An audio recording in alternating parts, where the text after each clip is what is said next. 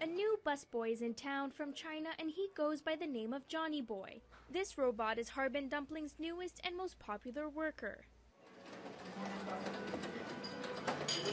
The price on a robot like Johnny Boy is between ten and twenty thousand dollars. The restaurant says despite the high price, they'll be saving a lot in the long run. You're hiring a people, you have to pay her um, insurance, you have pay her salary by hour. Johnny brings food from the kitchen to tables thanks to Sen. This robot specifically is hard coded. So everything has been coded in advance. So every behavior has been think about by human being. Artificial intelligence experts say this technology has been around for years, but businesses are now seeing it as a means to stand out from the rest. Well, I think it's mostly a marketing things. So it's a it's a cute robot that is the service looks very enjoyable.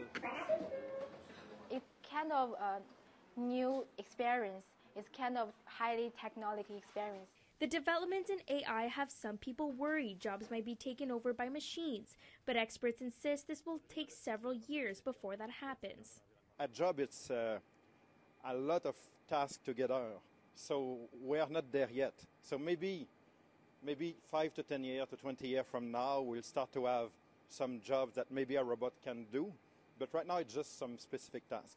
Joyce Jang says table service can be physically demanding, but Johnny Boy takes some of that weight off her shoulders. Too many things for me to manage it, but now I have the Johnny Boy. He helps me a lot. Despite his great work, he can't do it all. People have the emotion, but robots don't have it. Robot can only do the basic things. But Johnny Boy is a simple guy. He just delivers dumplings on the beat of classical music and puts smiles on people's faces. People always like, wow, oh my god, so amazing.